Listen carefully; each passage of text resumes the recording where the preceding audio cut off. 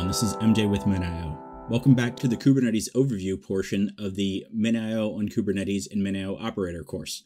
Let's jump into the next topic. First, we're going to talk about stateful sets and we'll talk about daemon sets, but stateful sets and daemon sets are similar to deployments, but they have some unique properties which we'll discuss here.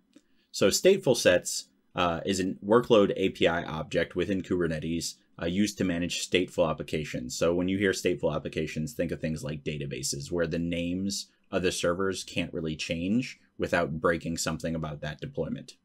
Uh, it manages deployments and scaling out of a set of pods and provides guarantees about the ordering and uniqueness of those pods. So as before, you saw that those pods that we deployed with that deployment had those random strings on the end well, this is going to solve that by giving them static names every time. Even when the pod goes down, we'll come back up with that same name.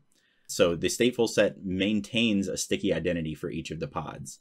And this really provides a stable and unique uh, network identifier and persistent storage for each pod so that uh, if your database is expecting server 1, 2, and 3, it won't get server 1, 2, and server 3 dash some random string because that will mean that your high availability for your database will probably break because those server names are expected in some configuration file for your database.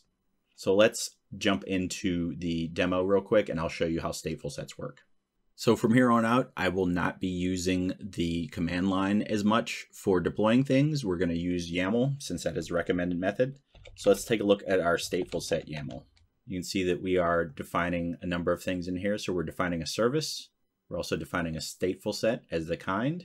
And we're saying we want to deploy two Nginx pods. And let's bring this online and see how that looks different than the other deployment that we just did. So we'll do k apply minus f stateful set.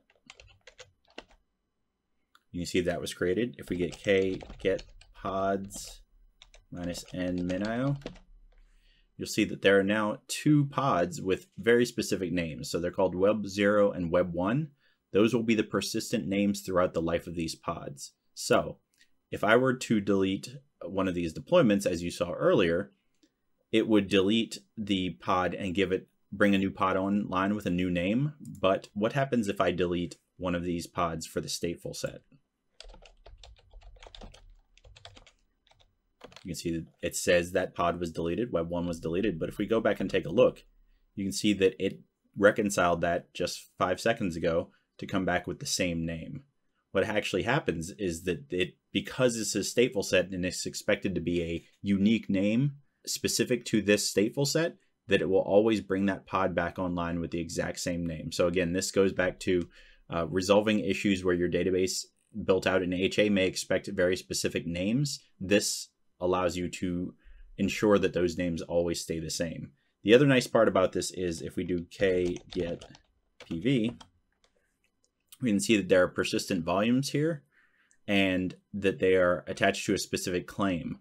So what that means is that if your database has something like sharding enabled, where there's different information stored on each of the database servers, which are actually pods, and that's the expected configuration, that when that pod comes back online, that it will automatically be attached to the appropriate storage for that pod that has the expected data inside that, that storage. So now your database, again, will now see the exact same name for that pod and it won't change. And also that pod will contain the exact data that it needs to continue to work within that configuration.